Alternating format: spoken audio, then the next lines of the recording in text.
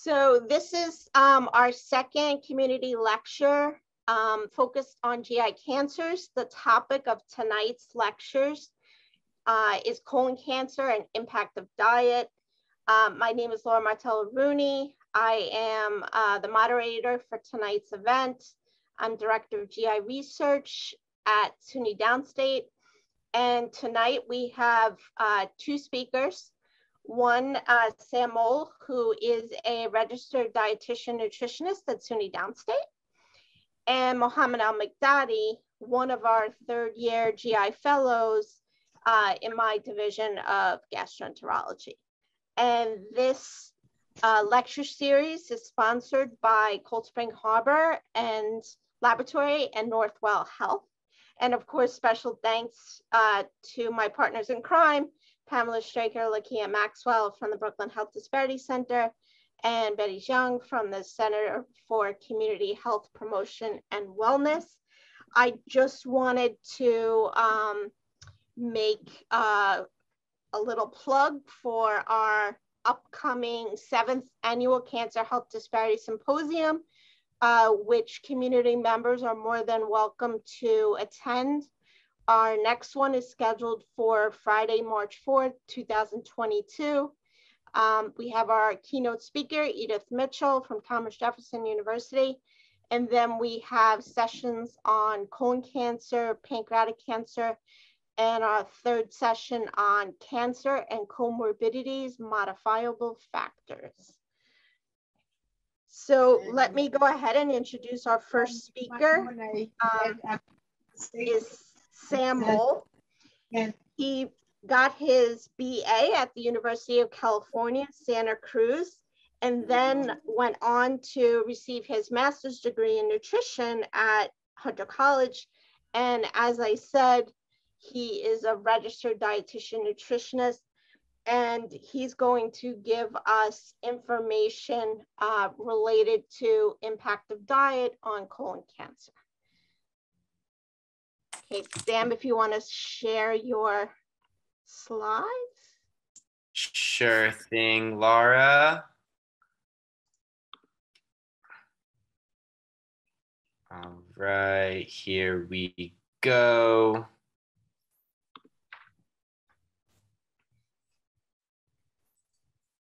Alrighty, and uh, the floor is mine? The floor is yours. All right. So we are talking about colon cancer and the impact of diet. So, what is a good diet to eat? What are the foods we want to focus on to, to help us prevent colon cancer? And so, Laura said all these things about me. Um, the last plug that I will give for myself is that I'm also a mindfulness instructor. Um, I lead classes at SUNY Downstate. Um, so, I lead classes for um, the physician residents and for the um, kitchen staff at the hospital.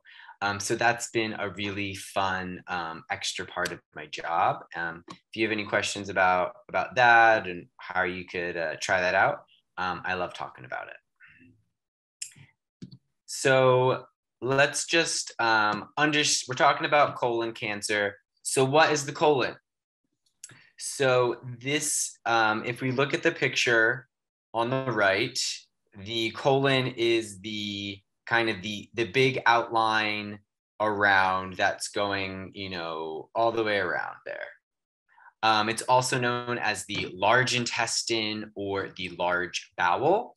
Um, and the colon is almost at the end of our digestive tract. So after the colon, we have the rectum where our waste is stored, and then the anus where um, our waste products are um, kind of their last step before they they um, they they go into the toilet. And one last thing on this picture, um, we have the colon, and then inside of it, that's the small intestine. All those kind of squiggles is the small intestine, which if we um, you know stretched all that out, it would be very, very long. And I will, um, you know, get into that on our next slide. So um, what does the colon do? Um, we are talking about, um, so we're going to go on a little journey for what happens when we eat food. All right. You guys ready for a little road trip? Get your shoes on. You might, you don't need a mask for this.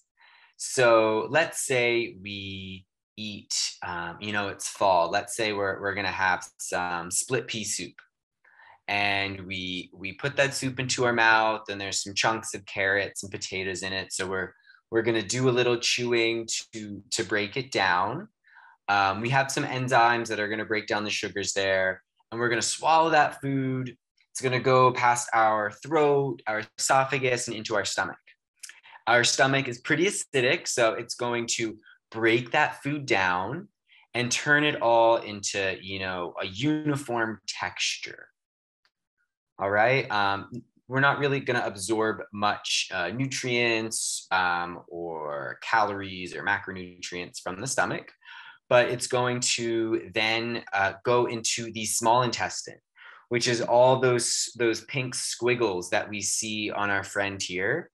Um, and this is the site of where our nutrient, most of our nutrients are absorbed. So most of the carbohydrates, the proteins, the fats, what we call the macronutrients, what are, you know, providing the fuel, building our cells, providing insulation, they're being absorbed here in the small intestine, as well as our micronutrients. So most of our um, vitamins and mineral. So it's there's a lot going on here. And then so most of the nutrient content it is, is absorbed in the small intestine. So by the time it gets over to the colon, you know, over here near the appendix, it's kind of just like a, a wet slurry. And in the colon, the big thing that's happening is the water that is that is accompanying that is starting to be reabsorbed into our body. You know, our body is made mostly of water, um, and it wants to hold on to that. It has a lot of important jobs to do. So the colon is going to reabsorb the water and some nutrients, and it's going to kind of start to form our stool, our number two, our poop. Um, and also in our large intestine is where um, a large percentage of our microbiome is. So the mostly bacteria that provide all these important functions to keep us healthy and you know what what goes into the colon is is also the food source you know those bacteria they just like us they got to eat um, and they get their their nutrition um, from whatever we're putting into the colon. And we'll get into what is you know what those bacteria love to eat in just a minute. So by the time our um, waste leaves the colon, um, it's going to go to the rectum, and that's kind of like where where we are our poop stores until it's um, you know secreted into the you know the toilet bowl. Right, so that was our journey into the di- digestive system, and I hope you have a little bit better idea about you know what what happens when we eat food and specifically the colon.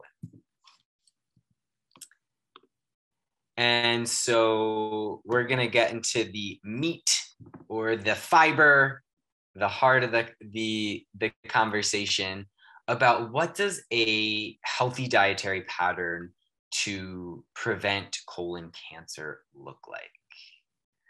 And according to the American Cancer Society, research shows that habits, so our choices related to diet, weight, and exercise are strongly linked to colorectal cancer.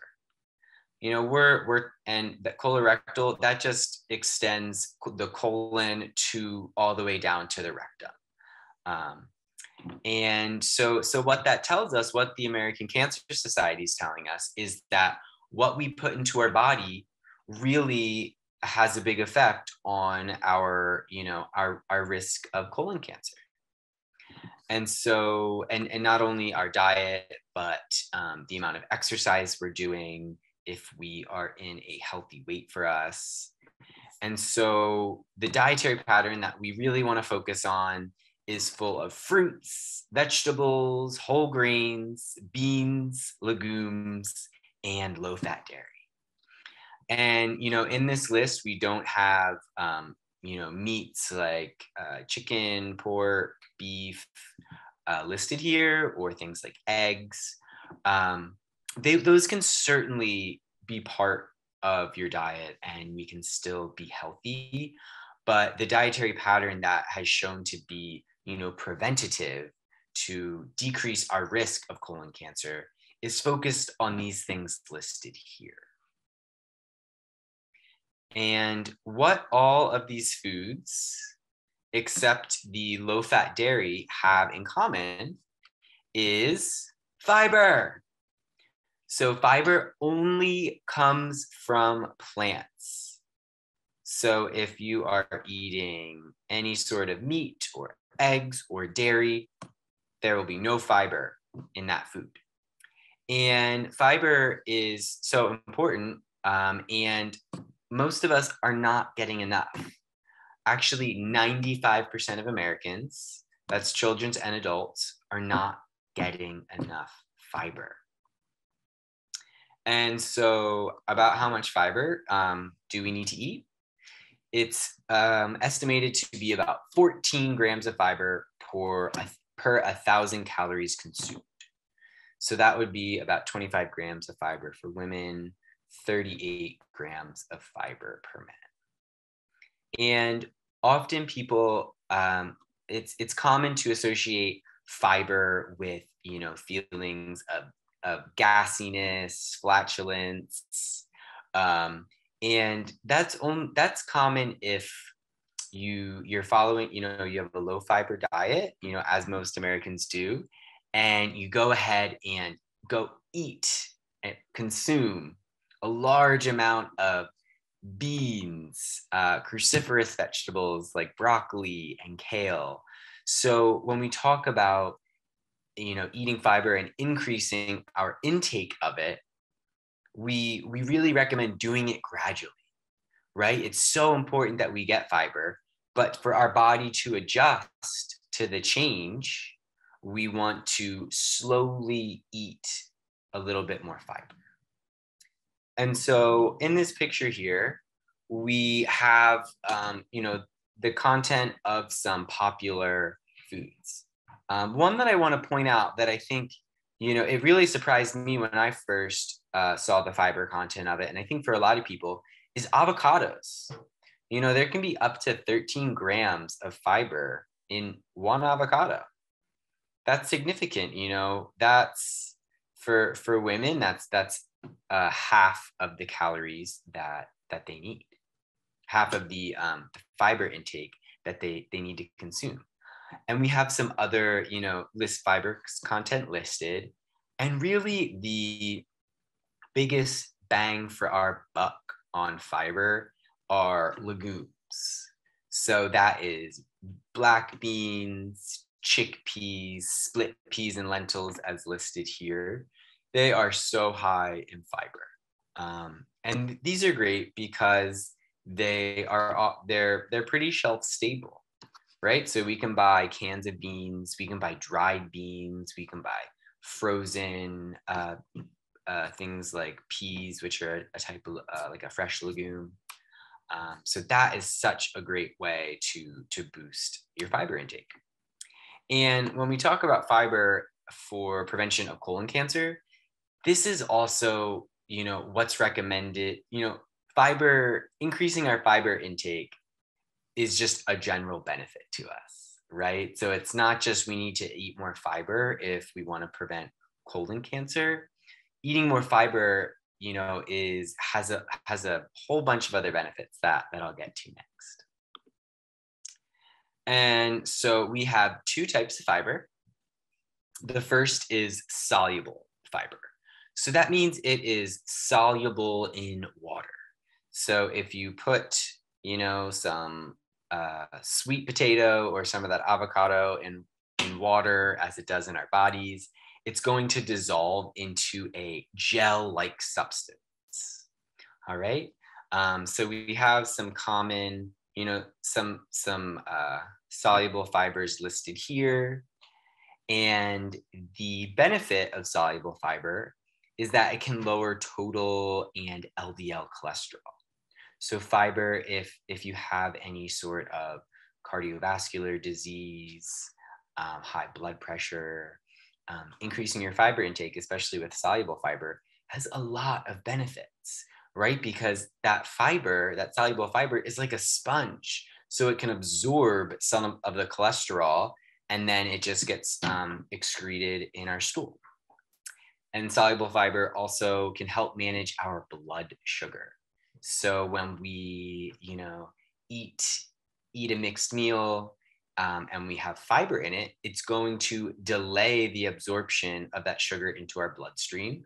So it's going to prevent that spike in blood sugar that we get when we just drink juice um, or really consume any any like high sugar uh, food or beverage. Um, and there is a link between heart disease and diabetes and colon cancer.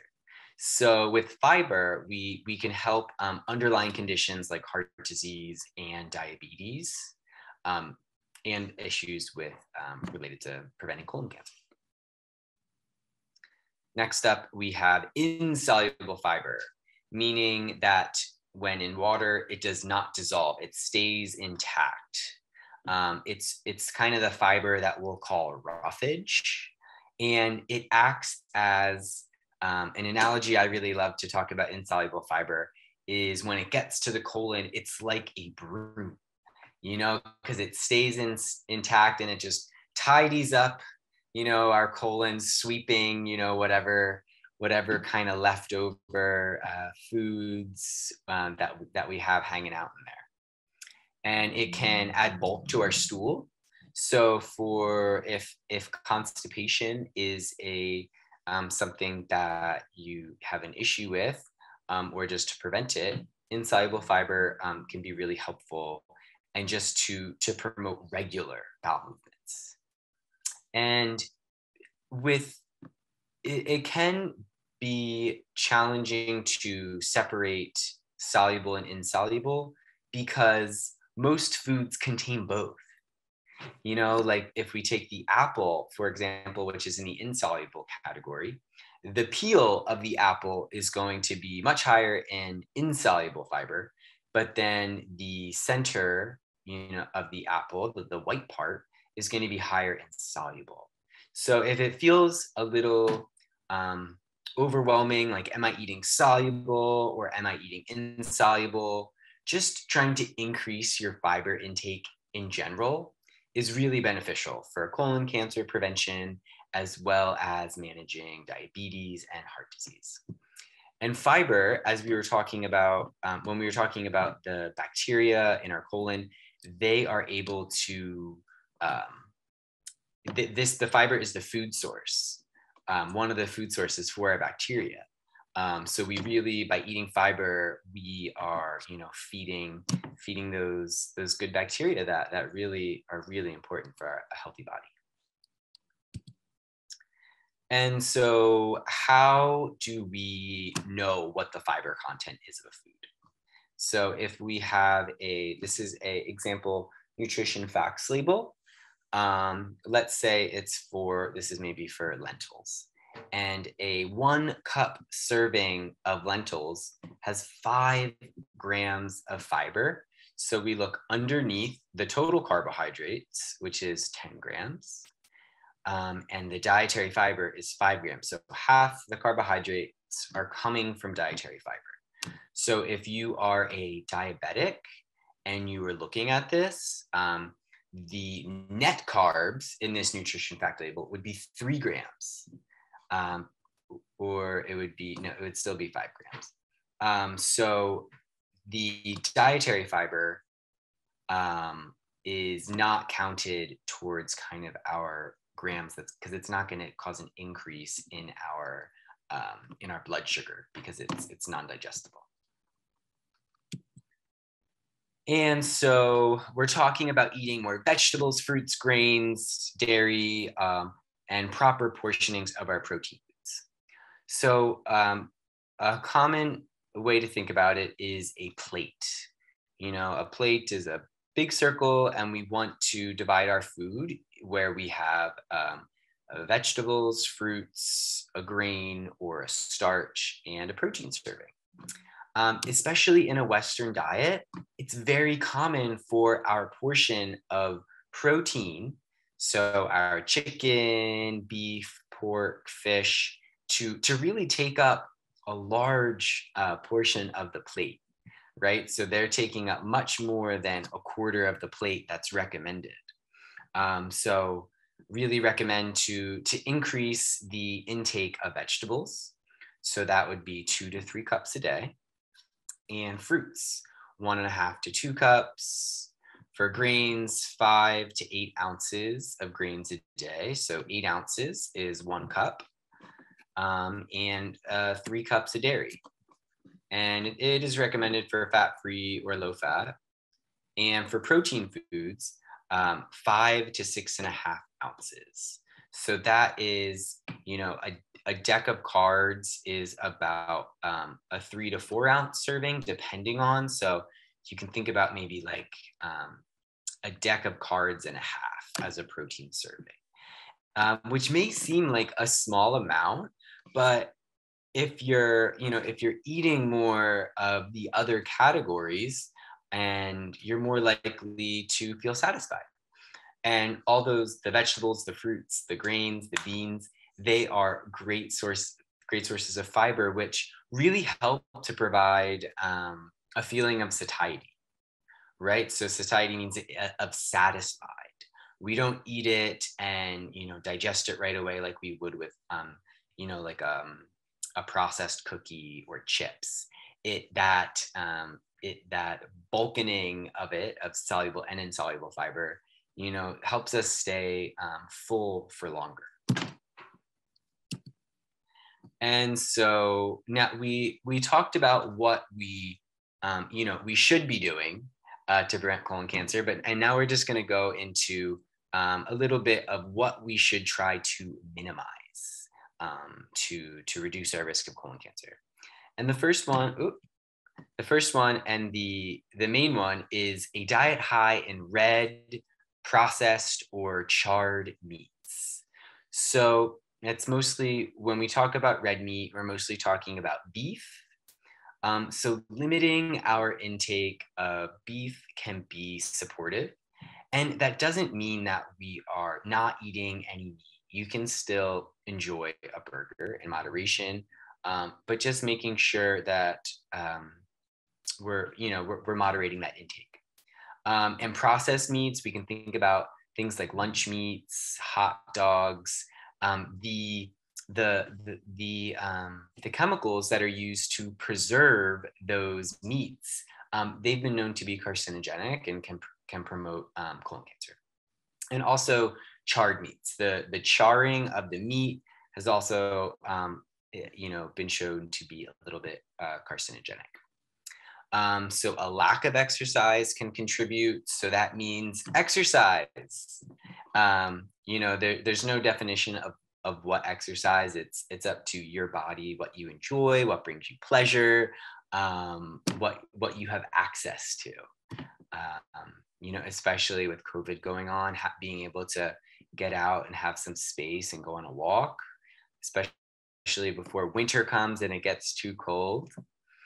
Um, obesity is a risk factor, um, especially with fat around the abdominal area.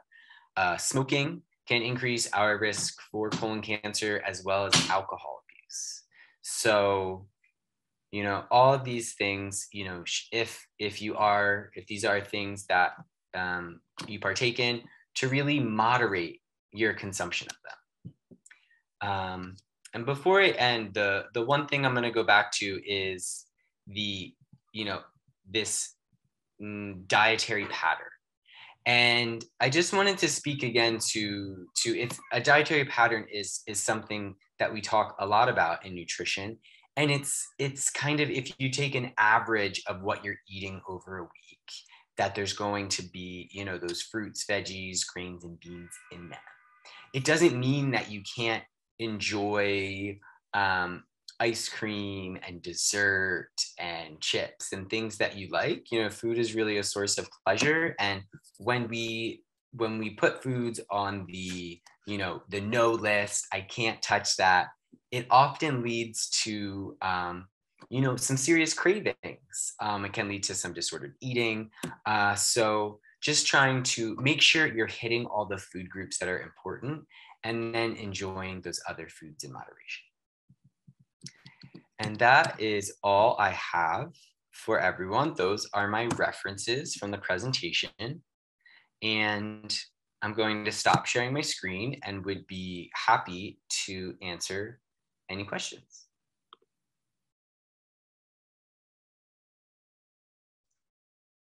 So Sam, um, I'll ask the first question and if anyone, any other participants have a question for Sam, please put it in the chat and we will ask it of him.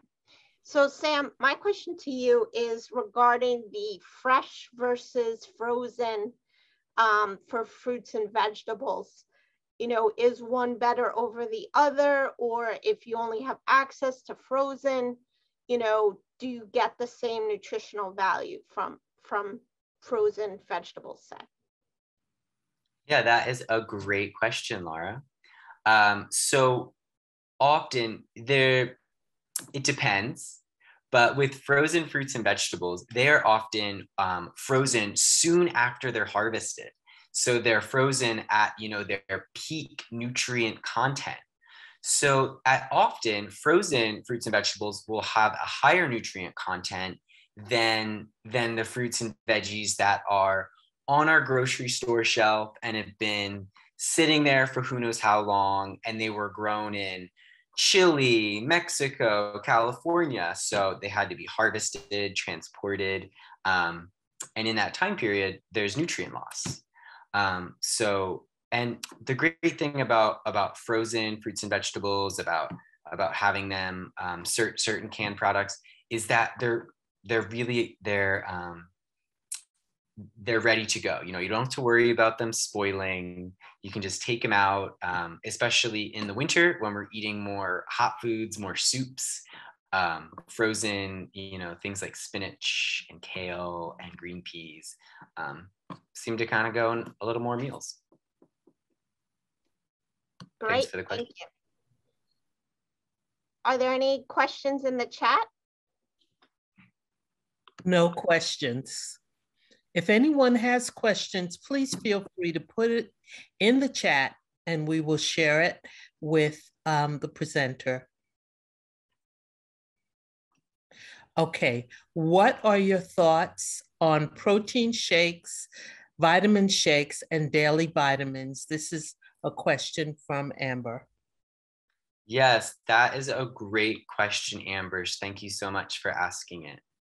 Um, so I like to take a food first approach. So getting my getting the our nutrition from you know from fresh frozen foods, um, but sometimes that that can be difficult um, because of being able to access them, having busy lives, um, and so that is when things like um, as you said, protein shakes, vitamin shakes, and daily vitamins. Um, for I'll start with daily vitamins. You know, a multivitamin can be supportive, um, especially kind of where we live in the world. Vitamin D um, is, you know, more likely that you'll be deficient, but not necessarily. So we recommend that you you go to your doctor and you get the blood work done to see if you're deficient, because there's no reason to take take a vitamin that your body doesn't need. You know that that that's not gonna. It's not like if we we get extra of something, you know, we're going to be extra healthy. You know, our body can only use so much. Um, and the same goes for protein. Um, with our body only needs so much protein, we can't store it for tomorrow. And if we're taking in too much protein, it can be hard on our kidneys. Our kidneys have to work to to um, secrete that. Um, and if there's a lot of protein, it can it can hurt them. Um, so so protein shakes if if you feel that um, you are, you know, depending on your activity level, you know, I would say protein shakes can, can be helpful. Um, and vitamin shakes, I'm not really, I don't, is, do you want to, is there something you could elaborate? I'm not really sure what like a vitamin shake would be. Sam, yeah, I can just chime in a little bit more. Um, they have like the combinations, like high protein, the vitamin mix blend, um, kind of those generic type things. So I was just curious your thoughts on those. Okay. Um, like uh, like an Odwalla like fruit shake that has added protein. Yeah, I mean the Odwalla ones. There's another brand I have on times called Orgain. Um, so there's Okay, I've yeah. heard of a lot of different ones. You know, some of them you make yourself, some of they're pre-made. Um, yeah.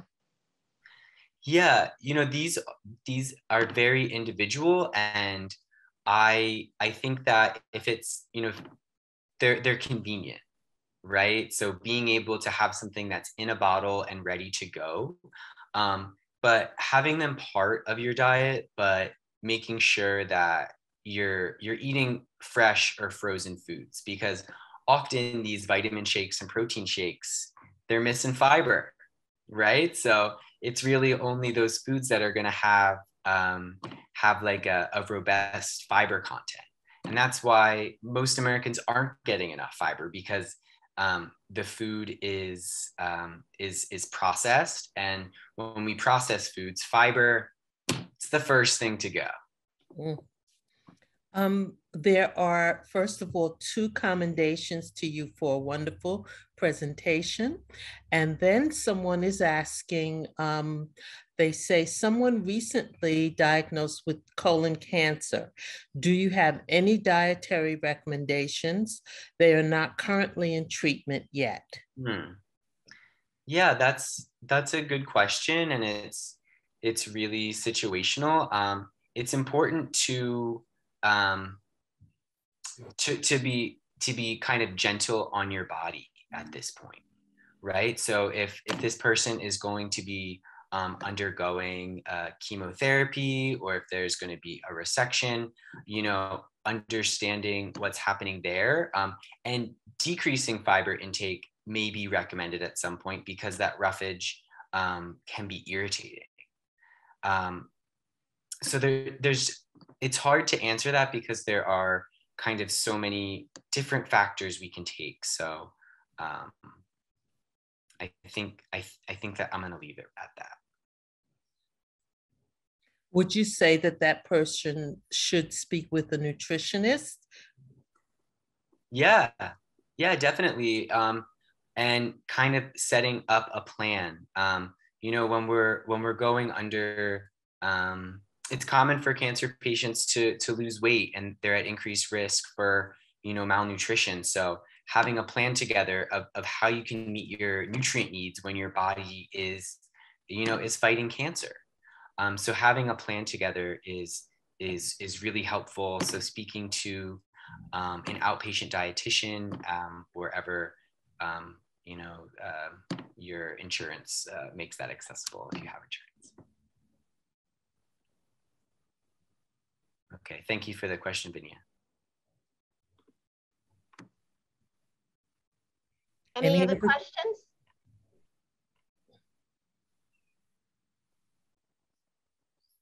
No? Well, thank you, Sam, very much for a very informative lecture.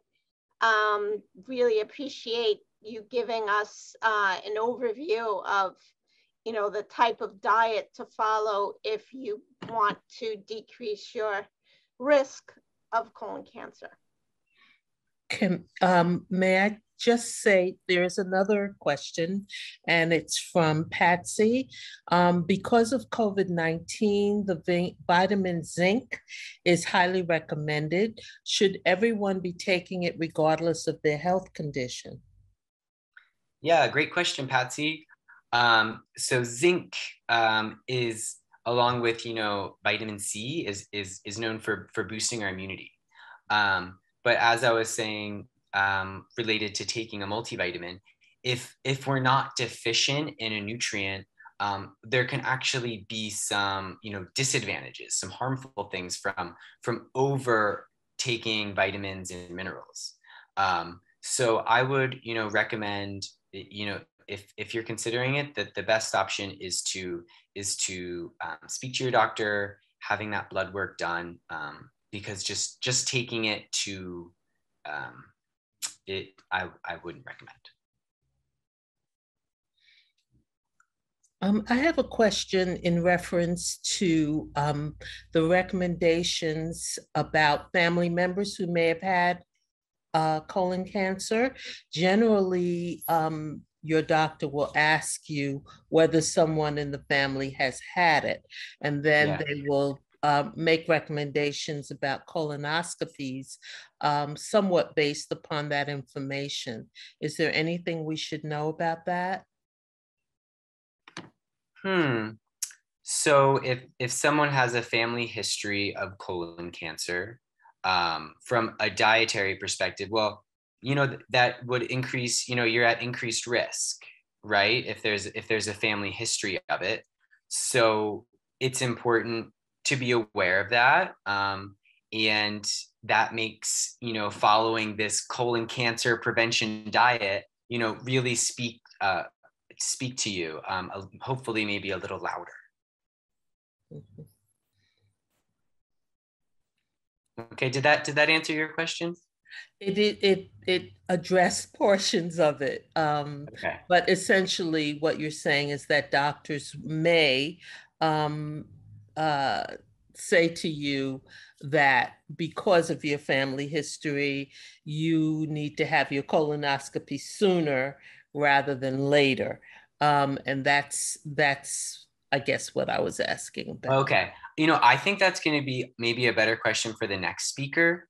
Okay. Um, around the who he's a doctor. You know, I'm I'm I'm just talking about the nutrition. So I they might be a better better able to answer that because that's a great question. Okay, and um, I think we're going to move on. Though Vanya has a question. Generally speaking, less high protein diet with more and more fruits and vegetables, whole grains, and dairy. And she's saying, is that what you're recommending? You got it, Vania. You've been listening. Awesome job. And we are joined by our dean, Dr. Lewis. Thank you for joining us. Okay. Okay. So I'll go ahead. Thank you again, Sam. And I'll go ahead and quickly introduce our next speaker, um, Mohammed Al Mikdadi. So Mohammed uh, received his MD degree from Jordan University and then went on to work as a research assistant at Tufts while he was doing his residency in internal medicine and he currently is a third year GI fellow at SUNY Downstate. And we have been working together for uh, the past two years on um, colon cancer disparities. And so um, Mohammed's going to give us uh, a little bit of science lesson uh, with regard to how we are attempting to address colon cancer disparities through research. So Mohammed, if you want to share your screen. Thank you, Laura. Um, let me share my screen here. All right. Can you see the screen? Yes. All right, great. Um, thanks, Laura, for the introduction. So um, I'm, I'm Mohammed Al-Makdadi, one of the GI fellows at SUNY Downstate. Um, so I've been working uh, with uh, Dr. Martello-Rooney, with our collaborator, uh, from Cold Spring Harbor, uh, Dr. Semir Beyaz. And uh, I'm gonna just give you a little kind of overview about how we address um, these disparities in, in colon cancer. And specifically, the angle that we're looking at is we're looking at the influence of obesity um, on this disparity or on this uh, difference in colon cancer, specifically uh, in African Americans. And so um, I'm sure you heard this before, but um, colon cancer in African Americans, you know, when we're studying colon cancer in general, um, we see that the incidence uh, or, you know, the risk of getting colon cancer um, is different among different ethnic groups. And um, specifically, um, African Americans seem to have a higher, a much higher risk uh, to developing colon cancer when we compare um, when we compare them to Caucasian Americans or even other ethnic groups. Um, and you can, you know, uh, a lot of studies had shown that, and um, this is kind of a well-known thing that um, African Americans, both men and women, uh, have higher uh, risk or incidence of developing colon cancer throughout their lives. Um, on top of that, we also see that uh, people who are um, uh, of African descent, Afri African Americans, they tend to be um, diagnosed at a later stage as well, which also affects um, their mortality or chances of dying from colon cancer. Again, when we compare that to other groups, we see that they, they tend to be diagnosed at a later stage, um, which uh, again will affect their mortality overall and five-year survival rates. And so they end up having a lower five-year sur survival rate when you compare it with um, Caucasian Americans, at least in, in these studies here. And so um, this all goes back to why is this why is this happening? Is is there an inherent risk um, for African Americans, or is there something else? Um, and to kind of answer this question, you need to look at the risk factors. That Sam mentioned some of these risk factors. You know, having um, a, you know a specific dietary style, uh, which we call you know the Western diet dietary pattern. Specifically, a diet with with uh, a high fat diet um, has been shown to have higher risk of of colon cancer, but also um, obesity is one of the big ones. And we know that uh, obesity will increase uh, the risk of colon cancer. Uh, and so when we look specifically at obesity, we also um, see that there is a disparity in terms of obesity. Obesity is one of the most prevalent diseases worldwide. Um, about 40%, more than 40% of Americans are obese.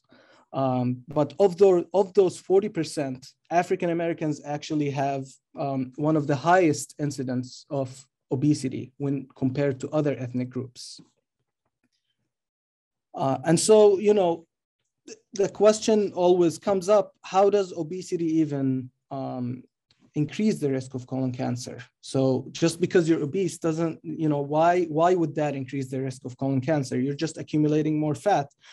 Um, but to kind of understand that is you have to look at what is fat and what compose what is, what is it composed of. So fat is stored in our body in what we call adipose tissue.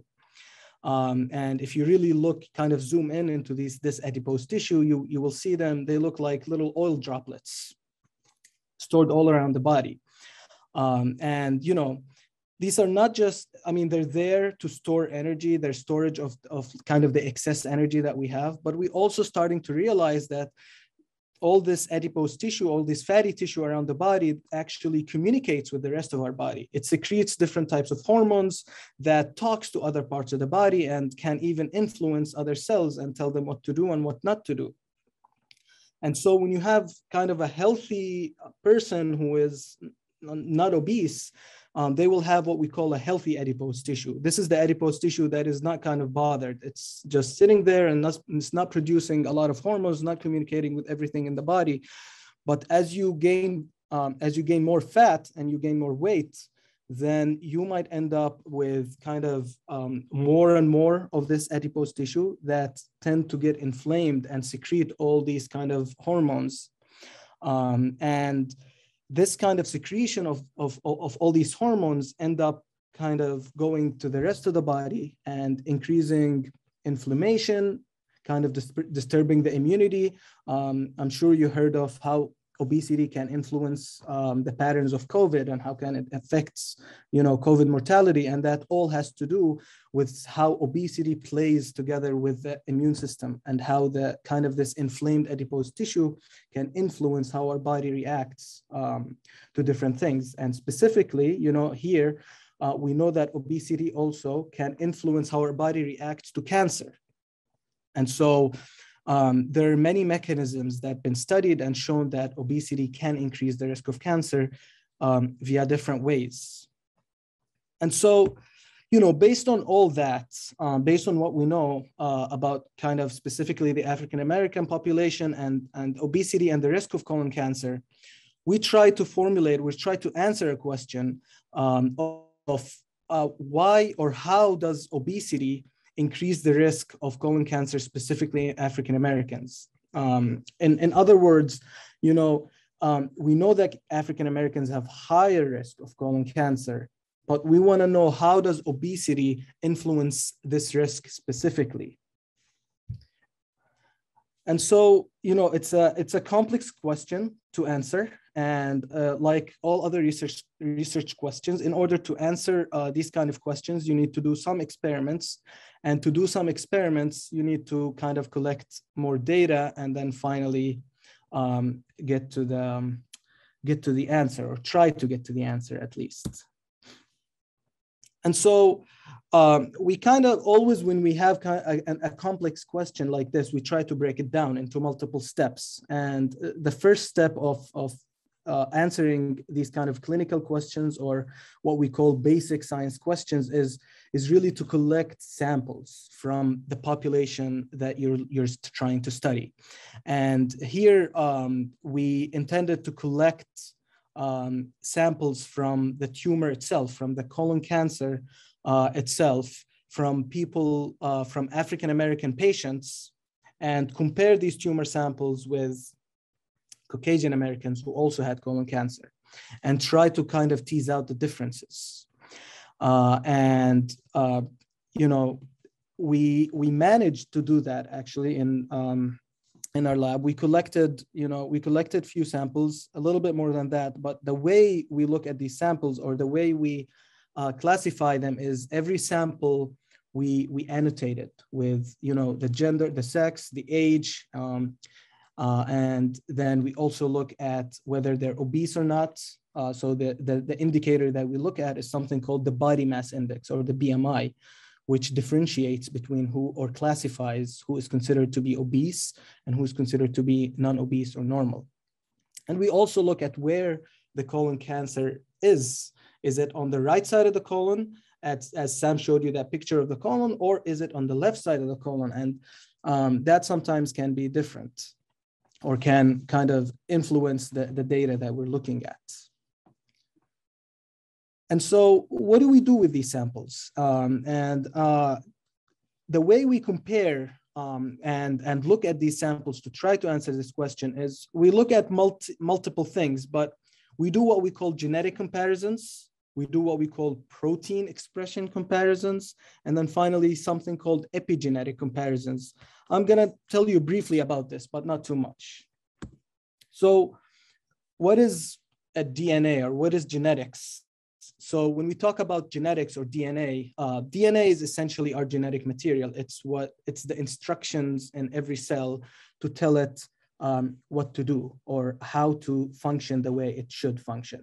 And the way the cell um, knows what to do um, is by transcribing this DNA by making these copies that I'm sure you heard about this a lot now called something called mRNA, which is kind of the final instruct or uh, um, to tell the cell how to build these little things that we call proteins. And proteins are just little simple building blocks that essentially make make us make make the rest of our body make um, build the rest of our body. It can be either inside the cell or outside the cell. It can be secreted. Um, there's a lot of different proteins. And so it all stems from DNA um, and then eventually becomes a protein based on this instruction.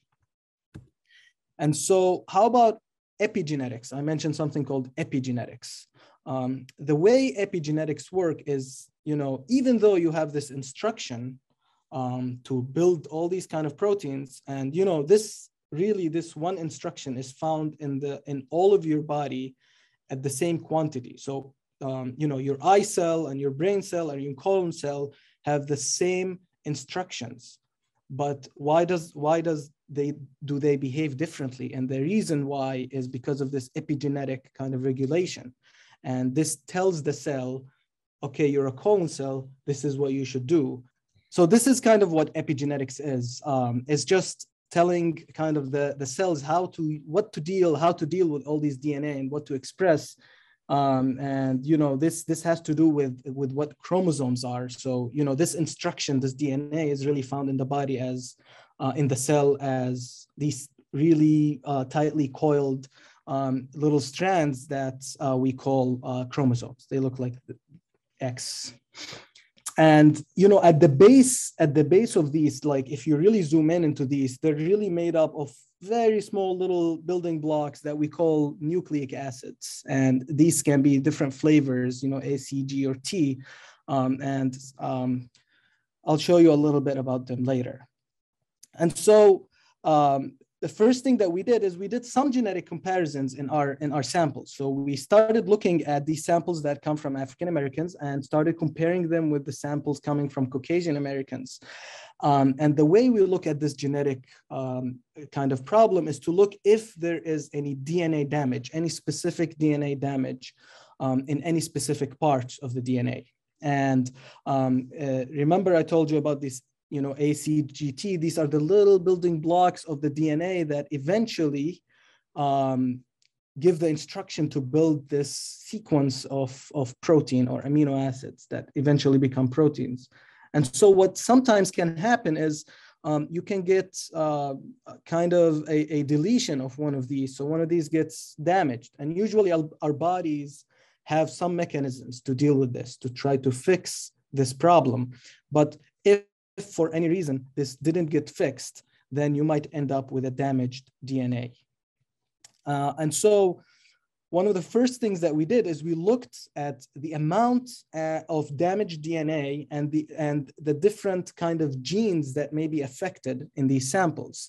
Um, and we looked at these genes and we, uh, in these different samples, and we, we kind of um, segregated these samples into the African Americans and then the Caucasian Americans. And then we also looked at the normal uh, versus the obese um, to see if there are any kind of differences uh, between them.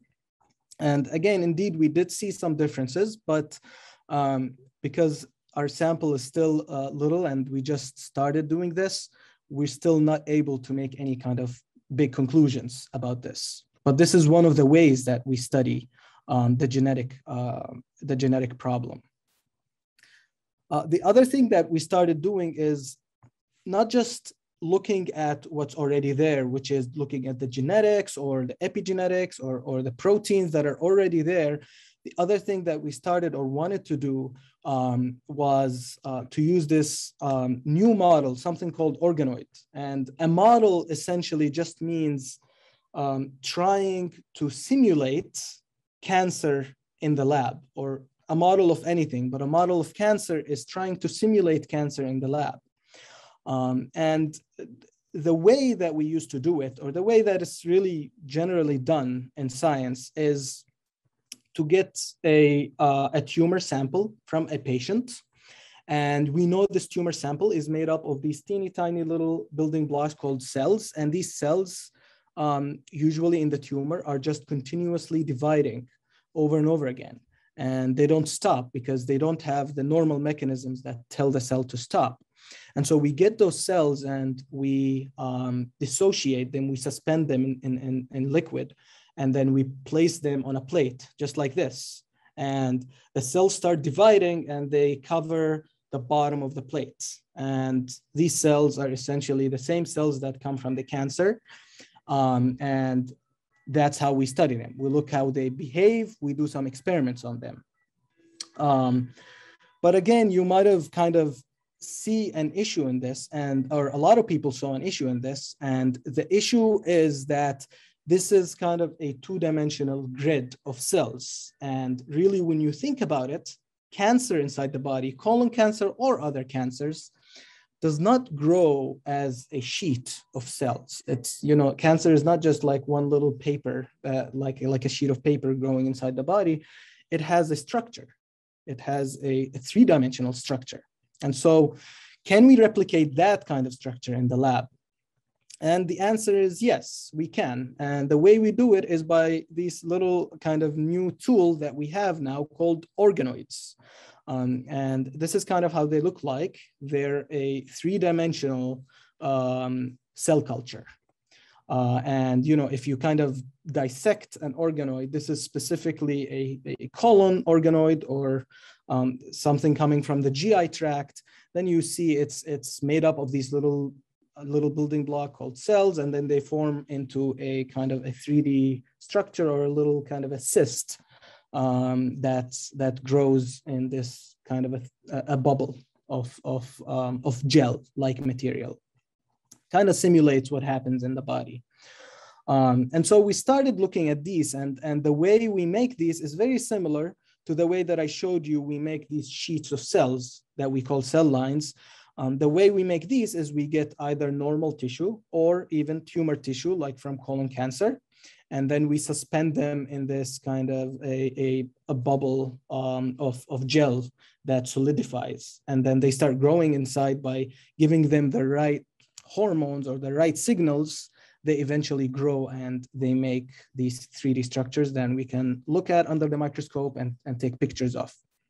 And so, what is the importance of all this? Like, why are we doing? Um, why are we going through all the trouble to to make these in the lab? Well, um, the, the, the good thing about these is that you can um, have as many as, as you want of them and they grow pretty quickly. And these cells are the same cells. They have the same genetic material. They have the same proteins, epigenetics, everything that we talked about that the patients have. And so whatever the cells do, we assume is going to happen also in the patients. And um, because they are growing in what 3D um, environment, they kind of resemble more of the original um, tumor or the original place they came from than just a sheet of cells.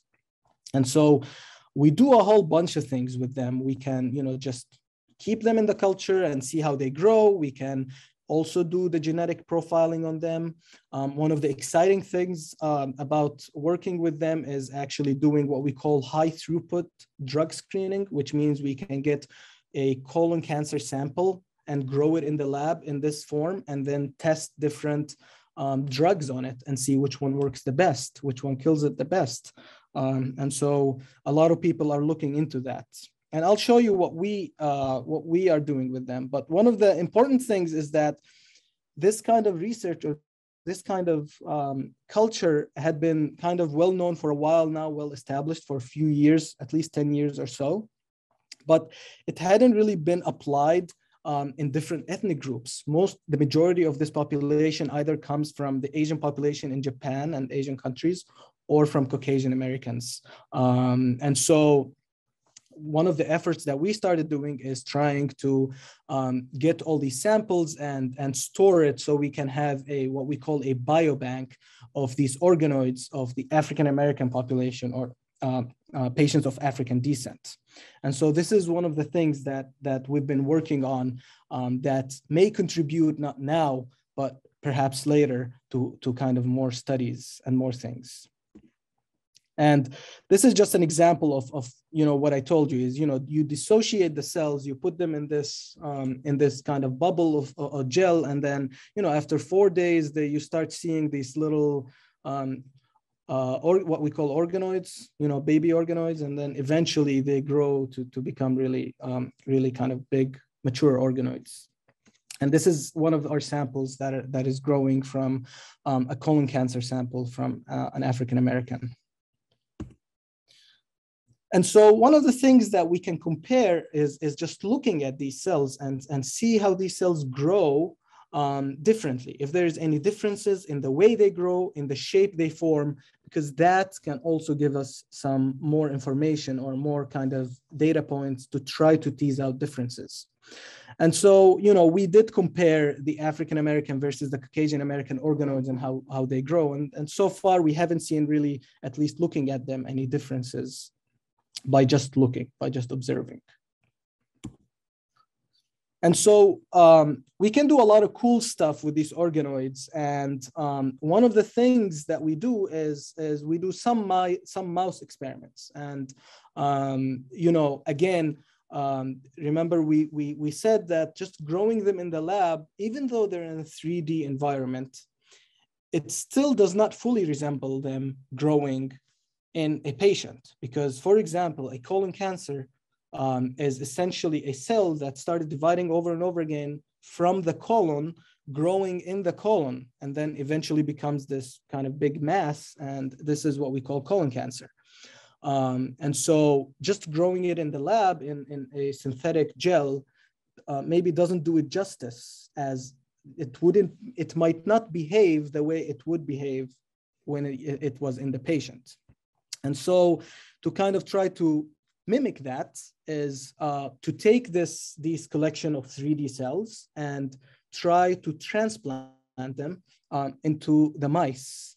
Uh, and we try to put them specifically in the colons of mice. So we do little uh, mouse colonoscopies um, and we take these uh, little collection of cells and then we inject them into, into uh, the first layer of the colon inside the mouse. And then you know they stay there and eventually they become part of the of the colon and then they grow um, as tumors in the colon as they should as they do in real life. Um, and so these are just some pictures of of the of the of the tumors that we grew. So this this is just a picture from inside the colon and showing that there is um, now this little bump growing right here. And this little bump um, or here you see it better, a bigger bump after four weeks, it becomes bigger. Um, this is essentially colon cancer. That's human colon cancer uh, that we grew in the lab that's growing in the mouse. And this allows us to do a lot of different experiments because now you have a really nice you know, model that is very close to reality. You're simulating colon cancer really almost, you know, as it happens in human.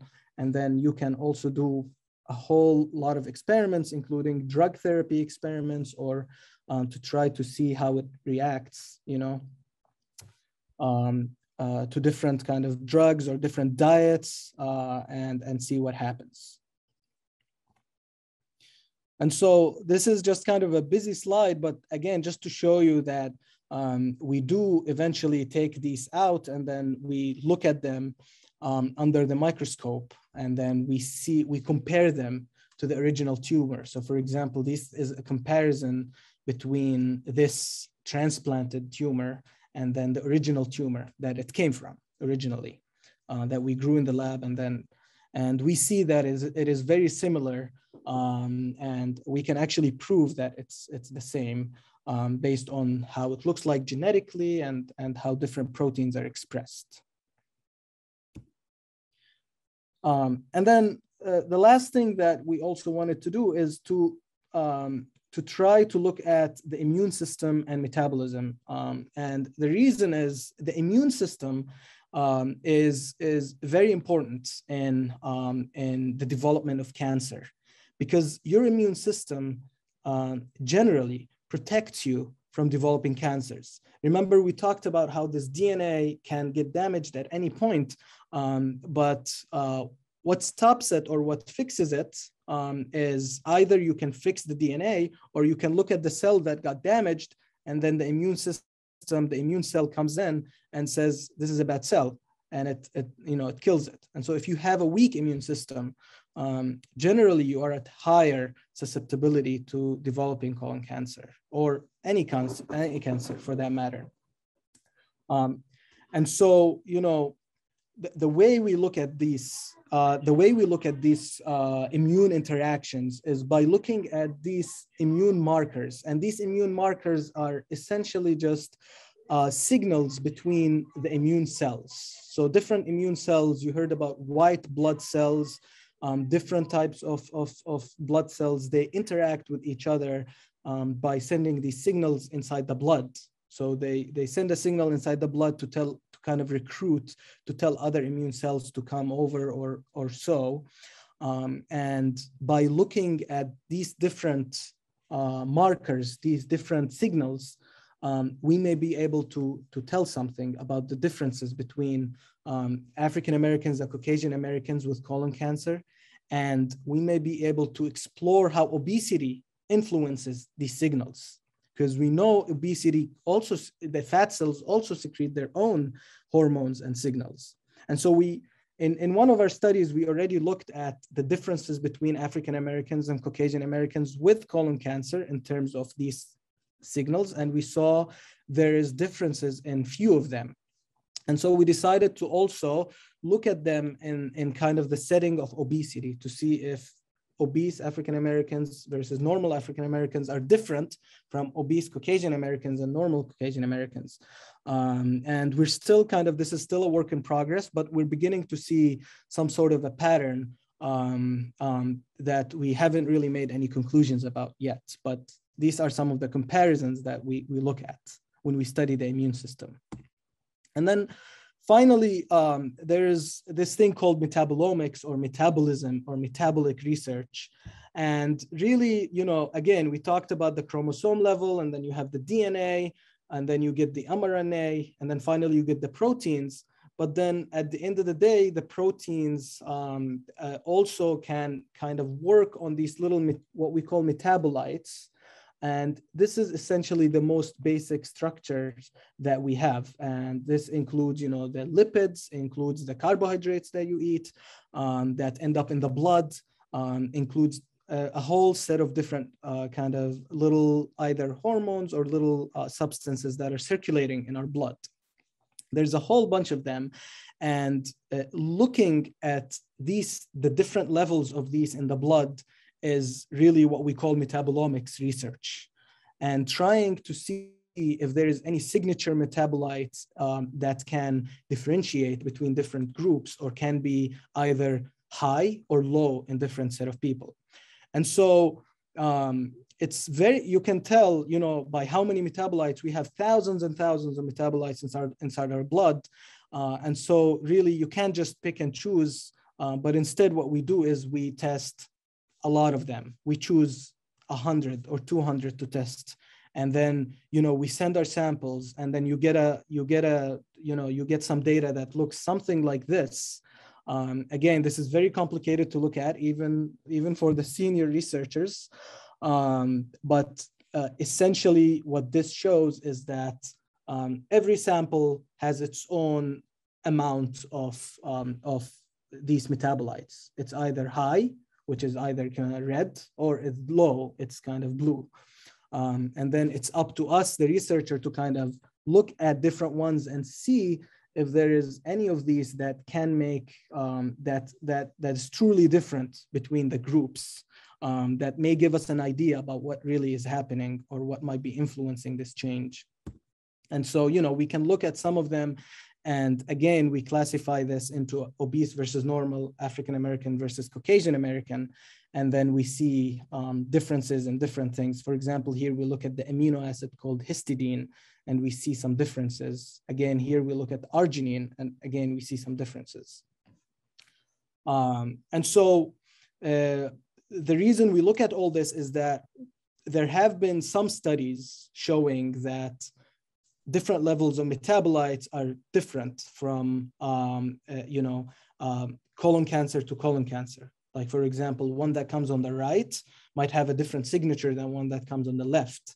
Um, and so we're trying to tease out this difference in uh, African Americans and Caucasian Americans in, in kind of the setting of obesity. It, how does obesity really influence all that? Because we know that obesity increases or at least disturbs the amount of these metabolites um, in, in the blood.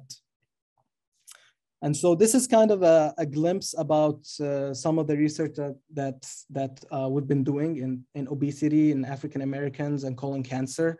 And I'd like to thank all our, you know, the, the, the people who helped us. Well, first the mice that really we we we uh, we use for our uh, scientific purposes, and all the people that uh, that helped helped me with the research. And um, I'll take any questions if anybody has. So far, we don't have any questions. We do have uh, someone left a message for you that this has been a great presentation and that the information is being shared with members of the National Association of uh, University Women to help educate the Black community. So Mohammed, I actually had a, a question. Can you uh, maybe just give a brief explanation how the human cancer is able to develop in mice? So uh, the way the, the human cancer is able to develop in mice is, um, you know, uh, usually if you, you know, if you transplant a human cell into a, um, into a mouse, um, it's not really it's not really going to survive because the mouse has its own immune system and it's going to recognize that this um, uh, this cancer cell is is well this cell is not mouse it's human. So right away the immune system of the mouse is going to destroy it. Um, and so what we do is we actually get very specific type of mice um, that are immunodeficient. They, they they essentially lack immunity um, against anything pretty much. And so they are able, we keep these mice in very, very, very well maintained, you know, quarantined, very clean facilities. Um, so they don't get an infection. Um, but um, they're, they're, they can't really develop rejection to the cancer that we kind of place when we do our uh, transplants. And, and uh, again, this, this shows you that, you know, there's different creative ways in science to try to um, solve this problem. Um, again, one of the solution of this problem is actually to get a mouse, um, what we call desensitized um, to human cells. So to, to get the mouse to, to kind of make the immune system of the mouse since birth be accustomed to human cells and eventually you know, the mouse immune system will be okay with having human cells inside the body. And that's what we call humanized uh, mice. So these are different ways that we can do it. I don't know if that answers the question, Laura. Yes, no, that's perfect. Uh, one of the other questions I had was regarding uh, the use of these organoids for drug screening. Do you think with, you know, the advent of personalized medicine that in the future, you know, these drug screening assays may be able to provide some guidance to uh, oncologists um, in maybe not first line therapy, but second line therapy for cancer patients? Yes, yeah, that's a great question, Laura. Absolutely. I mean, um, one of the kind of the premise of having these, the of having the organoid model because it resembles the original cancer so closely um, a lot of people have started looking into these uh, drug screens, into looking at different chemotherapies. Um, and again, as I as I showed you, what's nice uh, about these cultures is that they are pretty not just simple to to to make, but also they grow pretty fast. Um, and you saw after you know 16 days only, so in two weeks we have a full blown culture that we can test all sorts of therapies on. Um, and so you can imagine a world where, you know, you just get either a biopsy or, or a little piece of tissue from the uh, colon cancer and then expand it in the lab. And then within, you know, a month or so, you can have a list of what potentially may work for this specific patient, just based very specifically on their specific tumor and their genetic buildup. Um, and so that's, I think that's an exciting kind of part of the organoid research. It's it's a great um, it's it's a great uh, premise and kind of end goal that we may reach. Dean Alan Lewis has a question. Sure, thank you. Very nice presentation. I want to go back to something you mentioned earlier, um, Mohammed, which was the um, the concept of epigenetics. And I'm not a physician, so I, I don't fully understand that. But my sort of lay understanding of epigenetics is that it really is the impact of behavior and the environment on how one's genes work. And so I guess clarify this if you would. You were talking about, I guess, the environmental influences at the more cellular level. Is that what you were when you is that how you were looking at it, how you so, in that context? Yeah. So uh, thanks thanks for the question. So epigenetics is again is a pretty kind of broad term, and it essentially describes any um, influence of um, of, of anything really, whether it's intrinsic from our own bodies or right. whether it's environmental, whether the food we eat, obesity, or anything else, how these factors influence the DNA expression itself. Gotcha. Uh, And so, yeah, so like different uh, foods that we eat or different metabolites that we have in our body, um, different hormones might uh, kind of talk to the DNA and and tell it to express different proteins in different ways, uh, just based on on its mere presence. Um, gotcha. and that's kind of the what epigenetics is. Yeah. Okay. Gotcha. That that clarifies it. Okay. Thank you very much. Yeah. Very nice. Thank you. Any other questions?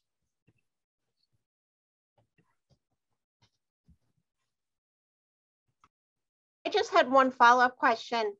Um, I was thinking of, about the uh, DNA mutations that you were speaking about, and with um, you know new targeted therapies being becoming available, you know what would seem like on a regular basis these days um, you know, is, is this information then potentially going to be helpful to also, in addition to the drugs, uh, guide, you know, patient treatments? Yeah, uh, good question, Laura. Uh, so these different mutations, um, when we look at these mutations, so when we say mutation, it just says that there is a damage in a specific gene that you know, eventually should have been a protein that performs a specific function in the cell. And so some of these proteins um, essentially tell the cell, hey, stop dividing. Um, you're, you're, you know, you're doing it too much. And so when you have a problem in these genes, when you have a mutation that stops these genes from functioning, then that's, um, again, that's a problem that may end up in cancer. One of the big ones is that we know is something called a gene called APC is, is one of the genes that work that way. But there are other genes that essentially um, work the opposite way, is they tell the cell to divide. But what happens in cancer is that these genes get, um, you know, get either they're accumulating, there's too much of them, or they're working too much.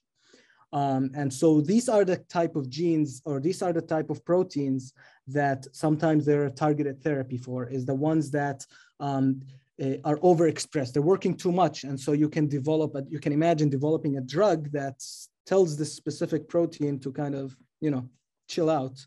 Um, and that might help kind of reducing the, the, the speed that cancer um, is, is uh, uh, replicating.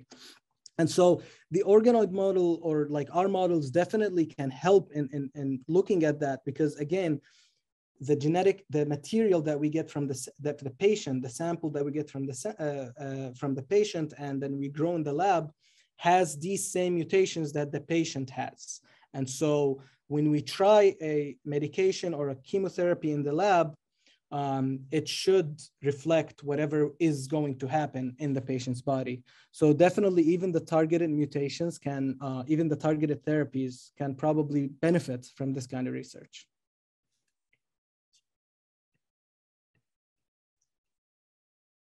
Great. Any other questions? Pam, you have a question? No, thank you. Yeah, thank you everybody for listening. Yeah, so Mohammed, thank you very much for giving us a science lesson into how, you know, uh, we are working with Cold Spring Harbor to address colon cancer disparities by not only uh, creating uh, research models that are not available. So there's no way for us to truly study uh, these research questions without first the research models, but then following up um, with these additional studies, um, the gene mutations, the metabolomics, um, looking at the cytokines, and, you know, in the end, we're going to try to combine all this information to try to determine whether or not there are uh, distinct differences that could be playing a role, in our case, uh, in relation to obesity and colon cancer. Well, thank you very much for everyone attending uh, this second um, community lecture. Uh, we apologize for the technical dif difficulties initially. Um, this is, um, you know, what we deal with with doing these kind of uh, non in-person uh, lectures, but the hope is that this will be an annual event and that we will be in person come the fall uh, next year. So we have one final uh, community lecture in this series uh, that is going to be focused on pancreatic cancer. And that lecture um, is on November 10th. And we hope to see you there.